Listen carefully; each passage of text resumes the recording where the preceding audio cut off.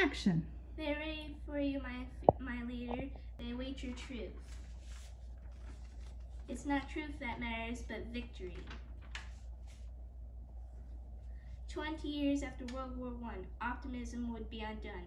The fateful Treaty of Versailles was all too easily defied. The depths of the Great Depression fueled German unrest and aggression, and from 39 to 45, 60 million more would lose their lives. But how did Europe descend once more from fragile peace to total war? How is Germany infected by a poisonous leader's bleak objective? A leader who would instigate a regime of power built on hate? Come with us now as we pursue the history bomb of World War II. We must rise up and take a stand, bring glory to the fatherland. Our children, this Aryan race, will save us from our past disgrace. Cast out the Jews, they make us weak. Guilty for our shameful defeat, we have su suffered so dreadfully. Let us now secure our destiny.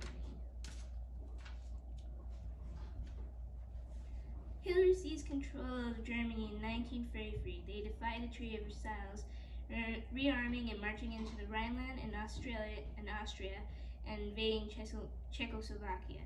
On August 1939, with tensions rising across Europe, he found an unlikely Russian ally named Joseph Stalin. May I propose a pact? Our, our two great nations should not attack. Fighting together will lay the foundation for our European domination. Okay, I will take this chance. Forget an alliance with Britain and France. Good, to Poland. Let's attack quickly. We'll split the land 50-50. On September 1939, Germany and Russia invaded Poland with an agreement to split the country between themselves. Britain's Prime Minister Neville Chamberlain had always aimed to maintain peace with Germany, but this time he could not ignore Hitler's aggressive intent. Now, with regards to the state of Poland, I can assure you it's all in hand. We must stay calm. I am quite sure, knowing Herr Hitler, he will soon withdraw. Sir, sorry to butt in. It's 11 o'clock. We haven't heard from Berlin.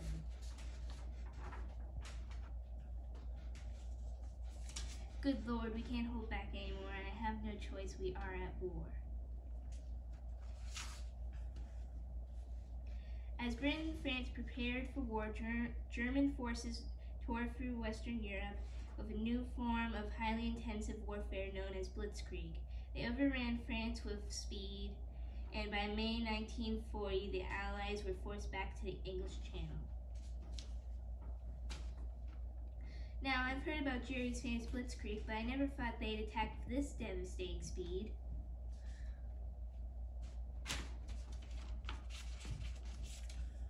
They pushed us all the way back to the to the beaches. We've dumped our tin and now I'm down to my breeches. Well, we best keep going. I hope we have some boats. We've got 300,000 Tommy's float. Do you think we'll return to the section? Well, who knows? Right now, there's only one direction. Against the odds, 30,000 Allied troops were evacuated at Dunkirk, but they left behind a lot of men and valuable equipment. With Western Europe overrun, Britain now stood alone, in the summer of 1940, Hitler attempted a knockout blow to the Royal Air Force to pave the way for a full invasion of Britain. By Jove, they mean business this Luftwaffe. I don't think we're far from disaster. Yes, they're coming thick and fast, but our new Spitfires are up to the task. I do hope you're right. We must fight at all costs. If the RAF fails, all hope shall be lost. There's another squadron over the channel. Here we go, don't amble, scramble. Hitler's plans to invade Britain was stopped in its tracks as the RFA held firm, much to the delight of Britain's new Prime Minister, our finest hour. German bombers con- or German bombers continued to pound British cities for months without a breakthrough. Eager for progress, Hitler looked east.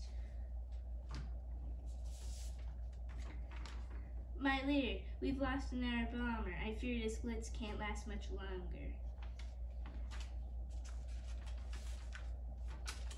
Blast. In that case, we march east to Russia. Stalin's not going to like this.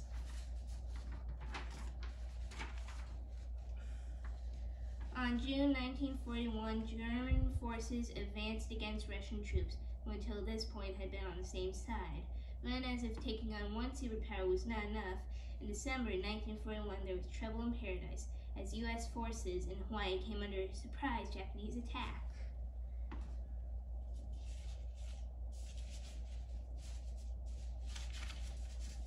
What in the world is going on? These Japanese, they're just too strong. They've taken out the battleships, and our planes have burned out on the airstrip.